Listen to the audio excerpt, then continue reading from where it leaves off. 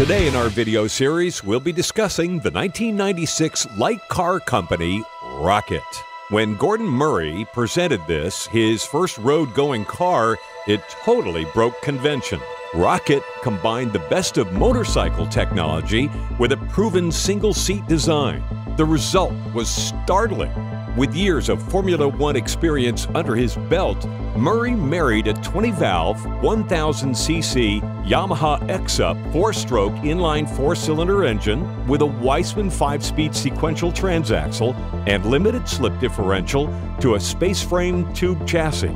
Rocket produces a mere 150 horsepower, but it propels a total of only 815 pounds. That matches or exceeds the power to weight ratio of the Ferrari F40. This rocket benefits from Stage 3 tuning specifications, including a displacement to 1170cc, Carrillo connecting rods that allow a red line of 11,500 RPM, and a gas flowed cylinder head and high lift camshafts.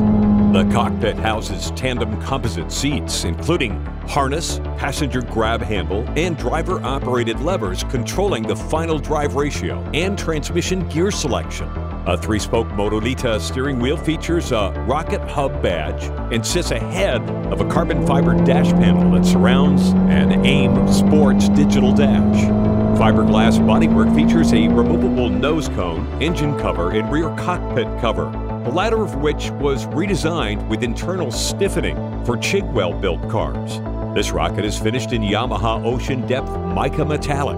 The triangulated steel space frame is finished in red stove enamel. Exposed carbon fiber cycle fenders were given a revised profile and mounting arrangements for cars built in the mid 2000s. After producing about 50 rockets, red tape and more stringent regulations got the better of the iconic car, and it slipped quietly into motoring history.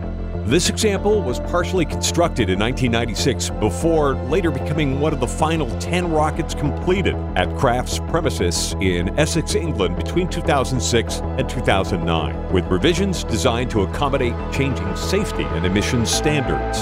The Rocket is the perfect choice for those looking for the thrill of a Formula One car that could be used on the track and driven home on the road afterwards.